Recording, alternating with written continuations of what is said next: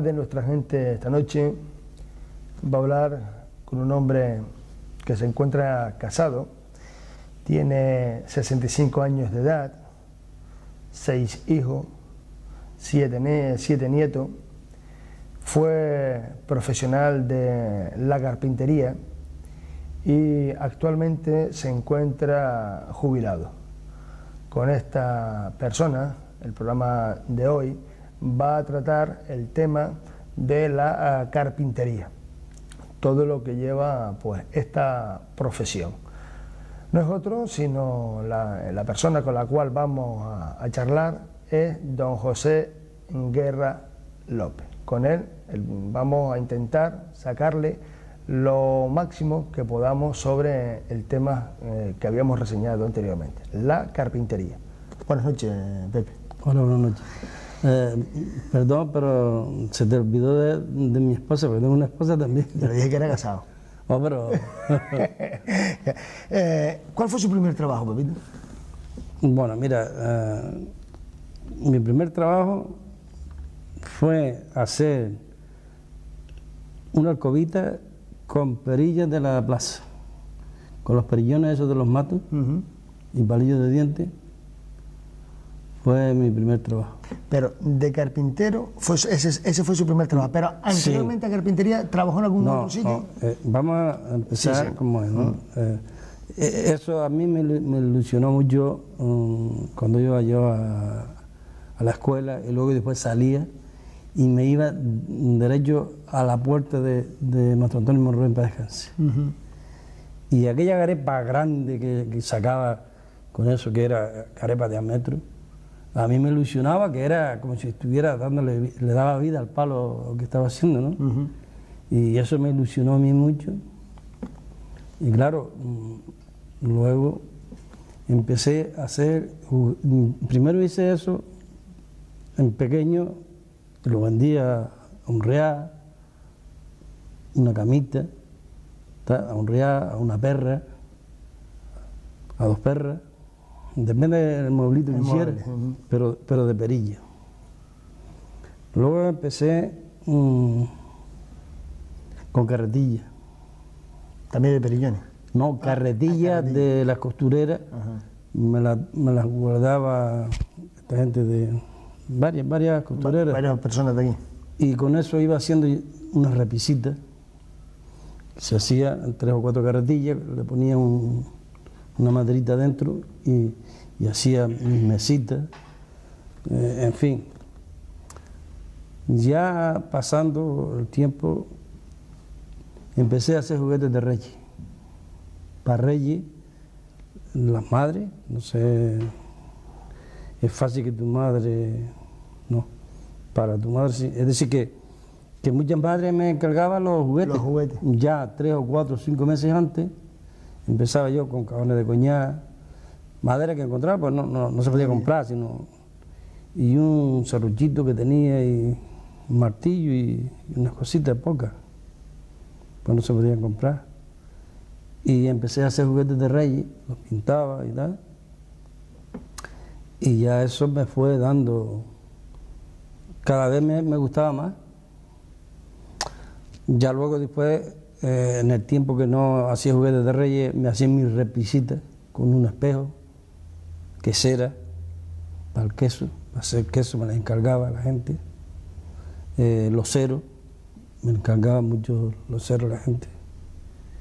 Y cuando no, lo hacía yo y me iba los domingos a venderlo a las cuarterías. Cuartería de de Pileta, cuartería de, Don Bruno, llegué a ir a los chiqueros de Don Diego, también llegué a vender repisas y mayormente repisas, porque las chicas eran todas chicas nuevas, se compraba su repisita y tal. Vaya juntando la dote, como decía la gente antiguamente. Y entonces luego empezó a venir, lo, eh, decir, yo trabajaba en los tomateros con mi padre y mi hermano, y se empezó a plantar millo en los tomateros. Los inviernos estaban en el tomatero, en los tomateros trabajaba y luego como quedaba gofio para comer el, verano, y queso, porque se hacía de las cabras su quesito, lo guardábamos, que ya hoy no lo hacen como lo hacíamos antes. Cogíamos el queso tierno, lo poníamos a secar y luego toda la semana se le daba vuelta al queso y se le echaba un poquito de gofio con aceite. Y ese queso te lo comías tú tierno en verano. ¿Y tenía algún otro sabor? ¿O, era, el sabor? Un sabor jugoso, pero muy bueno. ¿Entiendes? Porque el gofio con el aceite lo iba conservando de tal manera y teníamos unos balayos. un, un, balayo de que aún me queda uno en mi casa, pero es panera. El grande del queso se, se perdió, se rompió, la panera se me queda. Y luego, como te decía, pues los veranos, mm, yo tengo una hermana viva aún en Telde, mi marido murió, y me, mm, me hablé que, que, aquí, a mí lo que me gustaba era el mueble, y a mí no me, aquí no había, por aquí ni, ni nada que el mueble. Entonces mi hermana habló con un carpintero allá, Maestro Miguel Marrero, tenía una buena funeraria y una buena carpintería de muebles. Y claro, pues me arreglé con mi hermana, yo le llevaba al gofio para comer la semana porque no había mm. eso. Y veces venía, yo eh, para allá tenía que ir caminando y para acá también. Y a lo mejor entre semanas, si quería venir, tenía que venir caminando porque me pagaban cinco pesetas a la semana y no se podía ir en coche porque ya tenía mi novia. ¿De qué, edad, estamos hablando? De 18 años, ya, ya en esa edad de 18 años. Y estuve tres veranos yendo a aprender a telde. ¿Ese fue su primer maestro? Ese fue mi primer maestro que no lo olvido nunca porque enseñaba Maestro Pepe era, un, el encargado de la carpintería y era como un padre para mí. Así que siempre me decía, Pepe, haz el trabajo bien hecho. Una vez me puso la puerta, una puerta de una mesa noche de sombrero, porque la dejé descuadrada. Y entonces dice eso para que aprenda. Luego yo... Ah, me quedaba allí al mediodía, entre eso, pues ya iba cogiendo dibujos, medidas que las tengo aún, tengo dibujos y medidas de aquellos años. Y, y eran unos carpinteros muy buenos. Aprendí a secar de muerto también, ellos dos, gratis, no, no, no, ellos gratis. Una vez me dio el caso que el entierro era a las 5, la primera que hice, y yo llegué a las 5 menos cuarto con la caja, casi, casi. casi. Casi tienen que esperar por usted. Sí, pero nada, salió, salió bien porque era de coloquitos, de esos, de eran todas forradas por dentro y, eso. Antes, perdón, antes habló usted de que usted era carpintero de muebles. De muebles, sí. Es que, me gustó, me gustaban los muebles y entonces tuve que ir a Telde porque por aquí no se hacía. No, yo lo que a lo que me refiero era, todos los carpinteros no son carpinteros de muebles o hay carpinteros no, que no, ¿Qué diferencia es la que hay? Hombre, la diferencia es que le guste el oficio, que es diferente a, trabajar por dinero a trabajar por gusto. Porque yo muchas veces he, trabajado y me, me, deja verde porque los muebles, los, muebles no es que te deje, este, el mueble este antiguo no, no, no deja esa cosa, ¿no? No deja ganancia no deja ganancia como, como deja una puerta, una ventana. Una puerta, una ventana se hace muy rápido. Y entonces hay carpinteros, yo la he hecho alcoba a carpinteros, a dos carpinteros. Dos carpinteros que enseñé yo, mm, le he hecho la alcoba, todos de ingenio. Por eso le decía que, antes me habló de carpintero de muebles, hombre, tendría que haber alguna diferencia. Ah, eh, eh, ellos no se, no se dan por vencido alguno, ¿no? Algún carpintero no se da por, por vencido que no sabe hacerlo sino que no tiene tiempo, que esto o lo otro, pero es que no, que esto hay que nacer, tiene que nacer para hacer el mueble. Y aprender, porque claro, yo, por ejemplo, no soy tallista, porque en el taller no se hacía la talla, y entonces yo no aprendí a hacer la talla porque no, no la vi nunca hacer. Y si no, me hubiera gustado mucho, por ejemplo, Eso es tallado a mano, todo ese, todo esa... ¿Y, y, y eso lo ha hecho? Eso, eso, eso es hecho a mano. ¿Y lo ha hecho usted? No. Ah, ah. No, yo lo que no es mío, ya, ya, ya, eso es de un muchacho de, de Las Palmas. Ajá. Es decir, la talla de esa me la hizo un muchacho de Las Palmas. ¿Y, que usted, ¿Y que a usted le hubiese gustado aprender Hombre, a tallar eso? Pero como no la vi hacer nunca, porque yo prácticamente, y, como te iba diciendo, estuve en Telde. Luego después me fui voluntario a África, a Sidífini. ¿Por qué? Por, una razón. Aquí los militares ganaban 15 pesetas en aquella época. Y yo pensé, digo, si me toca las palmas, voy a pasar más de consuelo que, que, que, que, carajo, porque no voy a poder venir a hablar con mi novia, ni nada porque 15 eh, pesetas al mes, mira a ver lo que, lo que va a sacar. Entonces digo, mire, yo, yo, Agustín Guerra, eh, Paco Vega para descanse, un chico de abajo de pileta, dos de pileta, cogimos echamos la distancia y fuimos a, a Y luego allí había muchos, vinieron muchos carpinteros muy buenos, ¿eh? pero ellos no le, los peninsulares no le llaman carpinteros, sino ebanistas. Entonces eh, tuve la suerte que terminando el periodo de instrucción, ¿sabes tú qué pide los destinos? Y entonces pidieron carpintero y no salió nadie, ninguno. Digo, coño, ¿y cómo es que eh, entre tanto no había carpintero? Di un paso al frente y digo, yo soy carpintero. Yo sabía poco. En aquel entonces todavía sabía poco porque tuve poco. Dice el teniente, ¿usted sabe hacer arreglar un carro? Digo, claro que sé. Y un camión si se rompe, mm, las tablas y eso, también entrega el, utensilio ahí, porque era el batallón, yo estaba en el batallón y la carpintería estaba en el grupo de tiradores. Entrega el utensilio y se va para arriba agregado al, al grupo.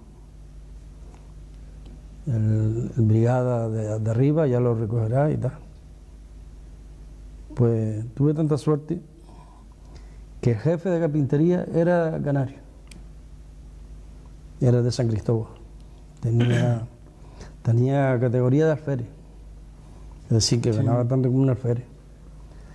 Pues entonces seguí, eh, allí se hacía cada mueble enorme, ¿sabes? Porque era para los jefes nada más, carpintería para teniente, capitán, comandante, y todo de madera buena. Y yo para ganarme alguna, a ganarme a los jefes, había una madera que le llaman sangre doncella y le, y le hacía unos bastoncitos yo finitos y tal. Y cada que llegaba uno por allí le regalaba un bastón. yo lo tenía todo contento. Contento.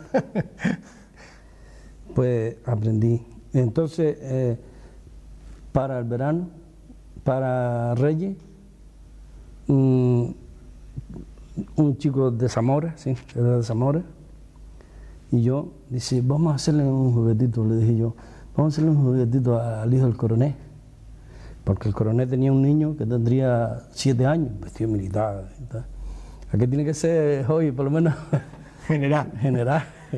Si vive. Sí, sí vive. No, el hijo, el hijo, ah, el, hijo, el, hijo, por lo menos, porque desde pequeñito lo tenía vestido militar. Y entonces yo le hice un, un avión, porque en aquellos años no había nada de juguete. De juguete. No había, que tenía un avión era... Un hombre rico. Un hombre rico. Aquí, por ejemplo, pero en África no había. Yo le hice un avión, se lo pinté igual que la Iberia. Y, el chico le hizo un mosquetón, el otro chico. Fuimos a la casa, una semana antes se lo llevemos. Él no le faltaba sino bailar. Brincaba de alegría, porque claro, es que el niño un hombre ya a lo menos de casi cincuenta y pico años y tenía un niño de, eso, se casó con una chica joven. Y dice, Canario, porque a mí me decía todo el Canario, Canario, ¿usted quiere ir eh, con permiso? Fíjate que ya yo tenía un año, tenía tres meses de estar allí, tres o cuatro meses. Mm, digo, no. Mi general, yo lo que quisiera es que me dejaran la carpintería hasta que mi licencia. Eso está hecho. Se le da, se le dice a, al que estaba a, brigada, dice nada. Mañana me lo digo yo, brigada, usted se queda allí hasta que se licencia. Y el otro chico se fue con permiso. Pues eso me fue a mí de, de maravilla, porque aprendí bien la carpintería. Y aprendí también la fotografía. ¿Allí aprendió a ser fotógrafo? Yo me hice fotógrafo también allá en el cuartel. Tuve la suerte de que había el, el que tenía el monopolio de, de la foto, que tenía un contrato hecho con, con, el, con el grupo, era un teniente casado con una chica de Telte. Y yo tenía 300 pesetas guardadas. Y yo veía que allí con, con eso se ganaba dinero. Entonces cogí y le dije a, es decir, cogí, hablé con la brigada, con el teniente, y digo, mire, teniente, a ver si usted me deja postales de esas que usted tiene para vender y tal, porque yo quiero aprender esto. Si tú quieres aprender fotógrafo, digo, sí, sí. Yo quiero aprender fotógrafo. Pues mira, a partir de, esta noche te voy a dar un permiso para que vaya después de, la cena, vaya a mi casa todas las noches. el pueblo era como, por ejemplo, estaba en las crucitas, era el, el, cuartel, y yo tenía que pasar al pueblo, que era más o menos como aquí. Pues iba caminando, tenía que pasar por el, cementerio moro pero yo no tenía miedo.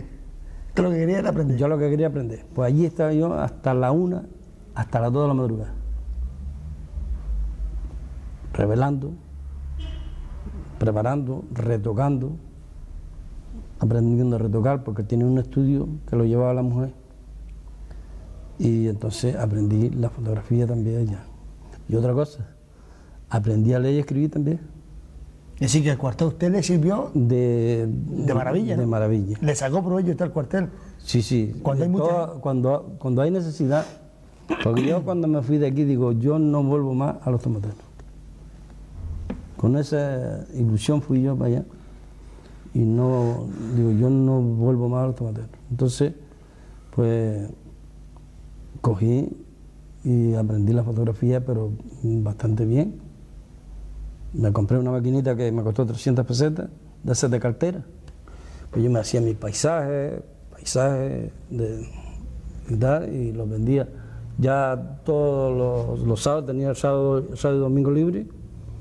Ya a todos los cuarteles llegaba yo y Oye, Canario, ¿hay algo nuevo? Sí, sí, hoy tengo una morita en un, montada en un burrito, o un, burrito con agua, vendiendo agua, es decir, que, o tuno, todas esas cosillas nuevas y después del parque, animales, de la Iberia, de la Iberia del avión volando, hice una foto que me dio muchas perras. Las perras eran para todos los canarios que habíamos unos 10 o 12 y al pueblo y, quemarlas el, domingo. Allí el que tenía perras, cuando ellos recibían un giro, las quemaba. Y cuando yo ¿Se ganaba tenía un durillo? Un durillo el domingo a, quemar. A, quemar.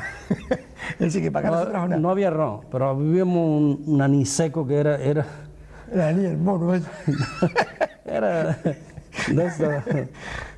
Es decir, para las palmas, para Wimbledon no se dan No, le trae un regalito no, no me mandaron nunca para allá. ¿eh? Yo estuve 18 meses. Porque estuve tres meses cuando el follón ese de, de África, tuve tres meses en retención. Yo serví 18 meses y no vine nunca. Yo, cuando vine a, a, las calles me parecía estrellita. Digo, coño, me, pues eso me sirvió a mí. El cuartel, el que lo quiera aprovechar, los jóvenes, se lo digo a los jóvenes, que no es malo, ¿no? El cuartel no es malo. Eh, lo que hay que aprovecharlo. Usted supo aprovecharlo. Yo lo supe aprovechar. Hay mucha Yo- gente, Pepe, Yo malamente, perdón, Sí, sí. yo malamente sabía leer y escribir porque yo me quedé huérfano de ocho años. Luego los años malos, me tuve que ir a los tomateros para poder comer, porque y lo poquito que sabía se me fue perdiendo. Y allá un chico de Albelo, que no lo he visto más, no lo he visto de aquí de tarde, era maestro de escuela, y aprovechaba yo de el toque de, de Diana, que de toque de Silencio. no, un toque de, de- para dormir, para tocaba un ratito silencio. Yo aprovechaba de la una y media a las tres que abría la carpintería me daba clase.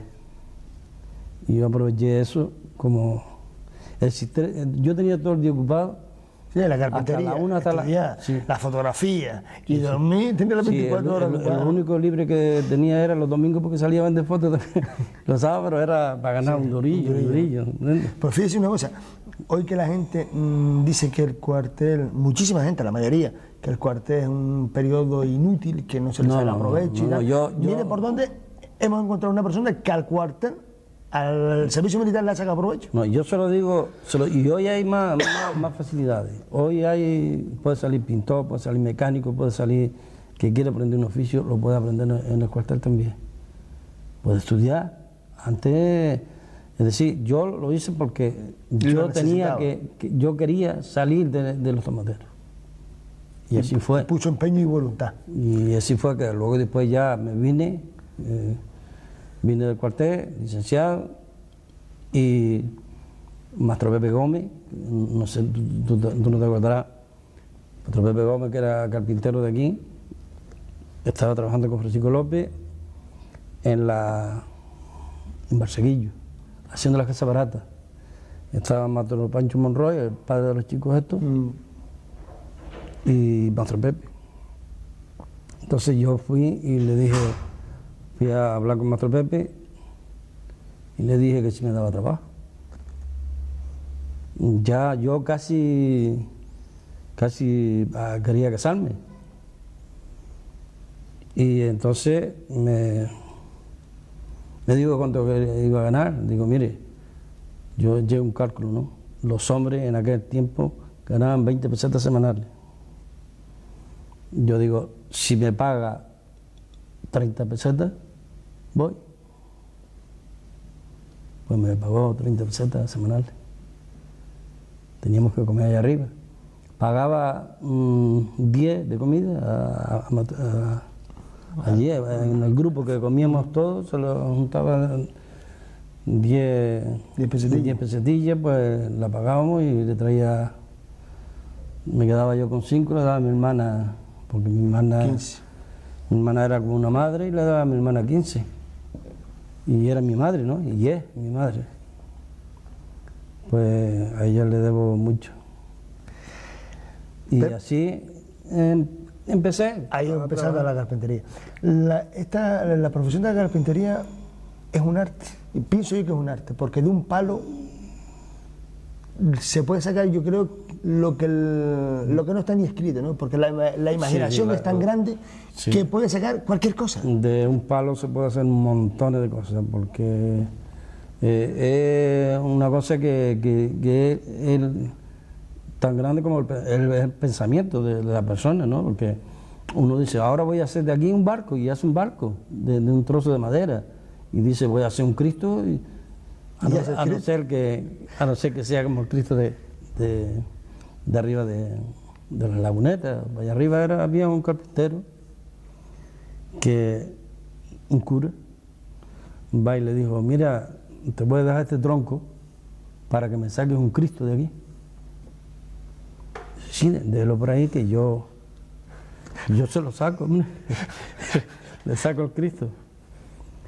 Pues al cabo de dos meses o tres meses pasó por allí y le quedaba un pedacito así, de palo. Pero muchacho, no me, ha, hecho- no me ha sacado Cristo. Dice, usted no se preocupe que sí está aquí dentro yo se lo saco. Está bien. Siempre sí. Dice, usted no se preocupe, que si él está aquí dentro, yo se lo saco, porque él le dijo que le sacara un Cristo, ¿no? Entonces, no, el pobre era, hacía cabeza arao y, y, y, yugo y cosas de esas. A lo mejor el Pablo le sirvió hasta para eso. Pues mira, pues entonces, claro, por eso te digo que, que del palo se saca montones de cosas. Yo, y el que lo hace con ilusión, pues mira, yo te digo la verdad. Gracias a Dios doy que nunca he en el paro. Gracias a Dios doy que los que yo he enseñado, los chicos que yo he enseñado, no, no han estado nunca en el paro. Sí, si por ejemplo lo quitan de, los paren de este trabajo, los ponen a lo mejor 15 o 20 días, pero enseguida encuentran trabajo. Lo que yo he enseñado. ¿Te enseñado mucho? Sí, mucho. Yo enseñé, he enseñado mucho. Enseñé aquí de Agüime Pepe Sánchez, que es un gran carpintero. Manolo Sánchez. Manolo Sánchez, que es un gran carpintero. Enseñé a Salvador, que era vivía, vivía en el pozo este de, Don Diego, de Lancón, y es un gran carpintero que está hoy de jefe general de, de un hotel de encargado de, de, servicio técnico. De servicio técnico. Pero era también un chico muy, muy bueno, a las 7 de la mañana estaba él, que yo tenía la carpintería ahí donde, en la casa que quitaron ahí de la carretera, ¿te acuerdas? Yo tenía, y él estaba pequeñito, sentadito allí, esperando que yo llegara. Enseñado a otros chicos del Goro, enseñado dos chicos de ingenio, aparte, Mm, mis hijos también eh, cogieron, cogieron, trajeron, lo, llevaban dentro también porque a mis hijos les di yo menos clases, menos clases que, a, los, demás, pero porque ellos fueron al cuartel y tal, y después ya sí.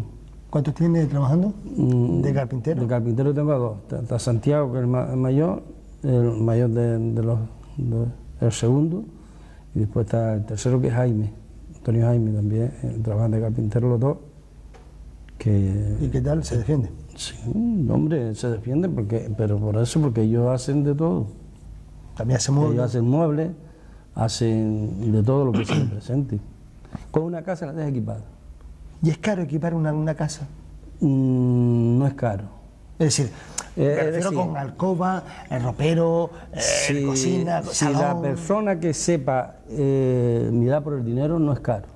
Si una persona, mm, no vamos a decir un pobre porque no, pobre como yo, por ejemplo, pero hay personas que en nuestra escuela, tal, que, tienen su sueldito fijo, pues ellos tienen una clientela muy buena como la tenía yo. Yo tenía, gracias a Dios, una clientela muy buena y siempre eh, la gente, si piensa, no es caro. A mí me han, llamado siempre el carero, Pepe Guerra, un carero. Pero a Pepe Guerra no han venido nunca a decirle, mire que la puerta del ropero se me cayó.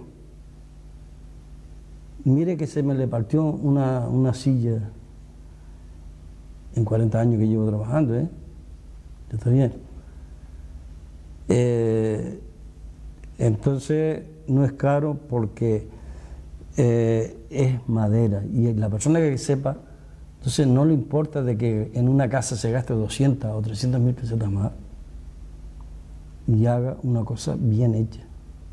¿Comprende? Tiene madera. No tiene... Es que a mí me han dicho, Pepe, que, que por ejemplo, hacer una alcoba con su correspondiente cama, su ropero, su comodín, su mesa de noche, hecha es decir, madera hecha, dice que es carísima, sale mucho, Hombre, sale hasta el doble y el triple más cara que comprarla, que comprarla sí, Pero es que, es, que, es que, fíjate tú. y, yo, y ahora no sé la diferencia que puede Yo tuve un problema que hace muchos años me dio un parálisis en la garganta.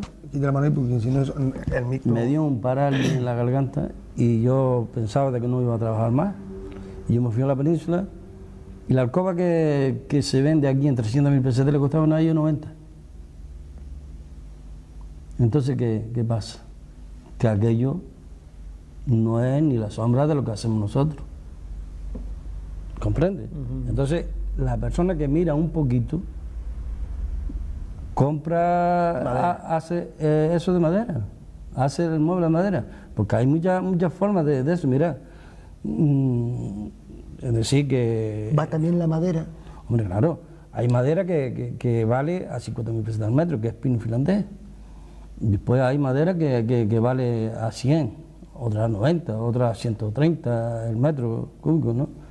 Y claro, eso depende, el gusto que tú quieras. Luego después, ahora, por ejemplo, mis hijos mismos mm, hacen el almazón de, M, que es un material bueno que hay ahora, y luego las puertas se las pone y los lados de ropero, se lo pone todo madera más finito y sale una alcoba pues estupenda. ¿En cuánto puede salir una alcoba hecha? Más o menos. Hombre. Mil pesetas arriba, mil pesetas abajo. Eh, eso ahí. Mire, yo lo estaba haciendo esta mi hija. Hombre, eso es tallado. Que eso es. tallado, eso me costó a mí el tallado, porque yo no tallo, yo siempre lo he dicho, no me gusta decir mentiras. Eh, el tallado de eso, hace 10 años me costó 520 mil pesetas. Pero hombre, yo no. Así que. yo vengo aquí y yo ahora, no quiero. Ahora no, una, cosa, una cosa se puede hacer desde, desde 200 mil pesetas hasta un millón, hasta dos millones. Yo la última que hice, la última alcoba que hice, antes de retirarme, pues la vendí millón y medio de pesetas. Y tanto así que el primero que la vio se quedó con ella. No tuve que, decirle a, ninguna persona, mira, vente para que me la compre, sino él hacía tiempo que, eh, venía diciéndome que le hiciera una cama. Y bueno, yo la fui terminando mientras yo estaba en ingenio dando clase, que yo estuve eh, en el INER dando clase, y iba terminándola a rato, a rato, a rato. Cuando tuve terminada, la llamé y se quedó con ella. Claro, es que una cosa de esa se lleva un camión de madera. Y para hacerla tiene que ser a gusto y a rato y porque por ejemplo mis hijos mismos dicen papá es que eso es imposible, es imposible porque da pérdida. Hoy hay que ir a lo más moderno y a lo más sencillo. ¿cuántas veces ha pensado usted por ejemplo esa escoba ¿no? o, otra cosa. Se acuesta la deja media ¿no? o no la termina y tal y piensa en el trabajo que está realizando y al día siguiente piensa y dice bueno esto a lo mejor no lo puedo hacer hago otra cosa y, al siguiente día se levanta y rectifica lo que ha hecho o, lo mejora. Sí, muchas veces, muchas veces yo mm, he cambiado una alcoba a lo mejor tres veces. Primero hacerla de un grueso, quitarla para allí, por ejemplo esta alcoba. Yo le iba a hacer de siete, pero luego después fui a una casa a hacer un trabajo, Las Palmas, y vi la cama aquella y yo me quedé, estaba soñando con la cama aquella. Nada más sino con verla, digo, no, no, yo no hago la cama esa, yo hago esta, que eh, lleva eh, igual el dibujo que, ese, pero eso, son las patas del ropero en la parte de adelante. Y toda la alcoba lleva las patas así, talladas todas. Y, después los penachos son también, no los tengo aquí, que los tengo guardados en mi casa, ¿no? Pero todos los penachos son tallados Y claro, muchas veces coge y rectifica tú porque piensa una cosa y dice, no, no, es que sale así yo hace un montón de años. Y, yo no quiero ser igual. Entonces cambia alguna cosa para que nunca las alcobas sean iguales. Porque yo, yo, ¿No la he hecho nunca igual, Pepe? No, no. ¿Siempre la he hecho diferente? La alcoba de encargo nunca la, la, he hecho yo igual. Yo alcoba tengo más de 50 hechas Aquí en Agüime tengo yo alcoba de 25 mil pesetas, pero están encantados con ella. Desde aquella época íbamos a, iba a Telde ya a prepararla porque aquí no había máquina, hasta que después se puso máquina en ingenio y luego la puso Monroy. y, y de 25 mil pesetas, y después fue subiendo. Después la hice la de cesárea para descanse, fueron 30 mil y así fue subiendo, después hacía varias, la hice a 100 mil, y después fue subiendo, porque todo iba subiendo, ¿no? Claro, sí, y, en fin, y el modelo, y, si era toda madera, pues llegaba a hacerla toda maciza de madera, con una base de, una, de un trompito de eso y la hacía toda maciza, todos los costados de esto se lo hacía macizo y después le hacía el tablero, hecho en, en eso. ¿Es importante el aprendizaje dentro de la carpintería? Eso es lo principal. Es lo principal, porque mira, yo estuve dando clase mm, cuatro años en, en el INE. Me tocaron chicos que eran poco tal, poco mm, buenos chicos todos, ¿no? Porque chicos malos no hay ninguno. Chicos malos no hay. Desinquieto. Hay que no han trabajado, estaban votados, a lo mejor tú dime tú, un chico que esté en la calle cuatro o cinco años, ¿cómo puede estar, cómo puede ser, no? Sin trabajo, sin nada.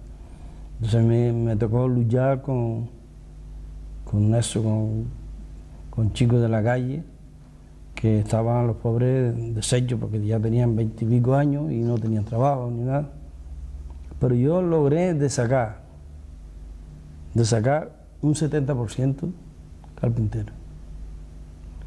Tuvimos, eh, fueron, el curso fue dos años y medio y en los dos años y medio yo le, una parte yo y tal, y otro, y ellos por la cuenta de ellos, le conseguí trabajo. Unos se fueron en carpintería metálica porque encontraron, porque más, o menos, más o menos igual, se fueron a carpintería metálica, otro al PVC, otro al PVC, otra carpintería de, madera. Y precisamente aquí ahora hay un chico que, que es cuñado de Fernandín. Ese fue del gremio. El primer año eran todos los... Mm, ah, esto, nada, pero luego después ya fueron cogiendo el gustito. Porque es tener, tener un poquito de, amor propio y... Y gustar. Y gustar, sí. Y entonces la cosa fue enderezándose y hoy me ve y... ¿Se lo agradece? contentísimo. Por ejemplo, uno que está en el crucero y nada, que el chico que del Cresac, que fue una pena porque fue al, cuartel y, eh, y, fueron, desde luego fue mal porque luego después eh, lo que lo peor que tiene eh, esto es que se fue al cuartel y después no, no le dieron el puesto. Y claro, porque son las leyes así, son, ¿no? Leyes. Son leyes que hay. ¿Qué es lo que yo prácticamente le pido al gobernante? Que se den de cuenta que en dos años no se aprende un oficio. Que los gobernantes, si son los gobernantes, tuvieron cuatro, cinco, seis, o siete, o ocho, o, diez años estudiando, si son médicos, tuvieron muchos años. Y en dos años no se puede aprender un oficio. Le pido que, una, a los chicos que, que aprenden un oficio, y otra es que cuando termine un curso de un año y medio o de un año, le den probabilidad de hacer otro curso, porque eso tiene que después no le dan probabilidad de entrar otra vez, o probabilidad de, de colocarlo en alguna carpintería. Sí, que, que practique lo que ha aprendido. Pero lo que pasa es una cosa, que no hay, quien lo coja porque tiene que pagar un seguro que todavía chico vale, sabe poco. Si ellos, el gobierno ayudara con ese seguro nada más, con los seguros sociales, yo estoy seguro que un 80% de los jóvenes en un mes encuentran trabajo. Solamente con que el gobierno se haga cargo de los seguros, sociales. Y es el único aprendizaje bueno, bueno, bueno que hay.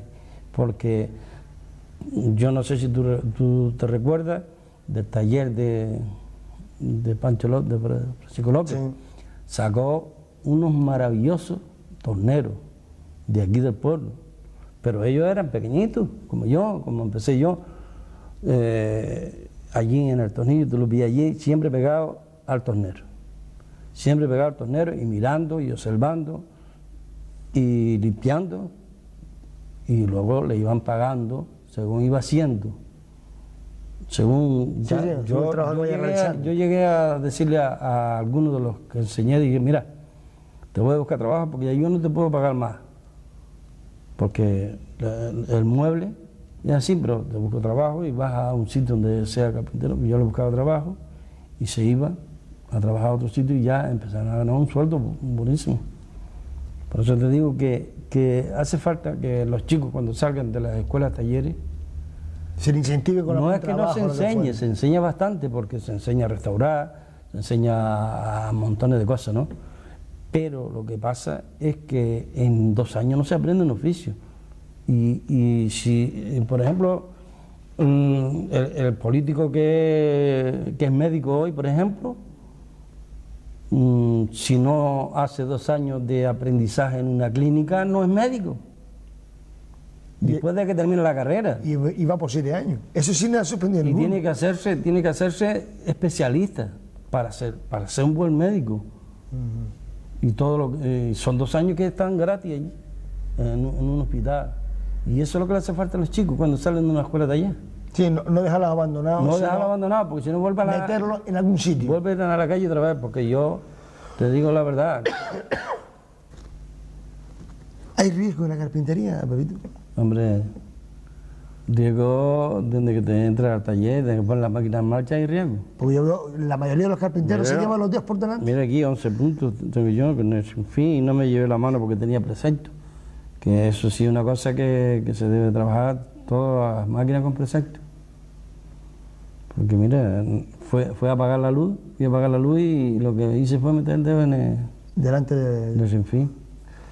Y claro, gracias a Dios no lo perdí todo, pero mm, tengo la secuela que me da... ¿Algún calambre el, o...? calambre, el nervio y todo eso. Sí, porque eh, yo, la mayoría de los carpinteros, digo que sean todos, ¿no? Pero una gran parte, las puntas de los dedos, ah, las pierde. Mira, la madera, la madera, mira, eh, eh, en el trabajo que ha hecho 50.000 veces, es donde tiene eso, se te puede partir un tablero, antes. Ahora no tanto porque ya tiene un rodillo que que lleva la madera. Pero antes, cuando era a mano, había que hacer 50 filigranas para, si se partía un tablero, que no te cogiera la mano. Ahora no, ya la mete y, el rodillo pasa los tableros, que era lo más peligroso, el trompo es lo más peligroso.